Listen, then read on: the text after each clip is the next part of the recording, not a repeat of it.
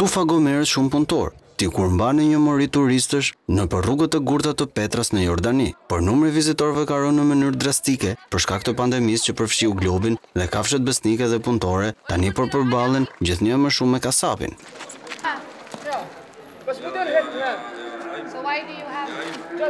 Në 2019-n, numri i vizitorëve në vendin që është një nga trashëgimitë botërore të mbrojtura nga UNESCO arriti në 1 milion. Por në mars të 2020-ës, destinacioni i famshëm turistik u mbyll dhe të ardhurat nga turistët atje u zhdukën. Tani ky veterinar thotë se ka ndihmuar më shumë se 250 gomerë gjatë izolimit të koronavirusit, pasi mungesa e turistëve kishte bërë që pronarët të mos mundeshin t'i ushqenin ato.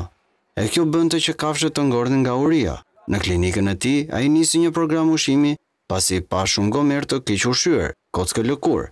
Vetë pronarët e gomerëve thonë se kur turizmi ndaloi, gjithçka u ndal bashkë me të dhe askush nuk mund të përballonte të ushqente apo të kujdesej për kafshët. Para pandemisë ato përdornin gomerët e tyre për udhëtime të përditshme në Petra. Me një rrugë, me një turist mbi shpinë, gomari i siguronte pronarit të tij një dollar e gjysmë. Por tani gjithçka ka ndryshuar edhe njerëzit atje me vështirësi sigurojnë bukën e gojës duke i lënë kafshët që deri dje i kishin ndihmuar në mëshirë të fatit.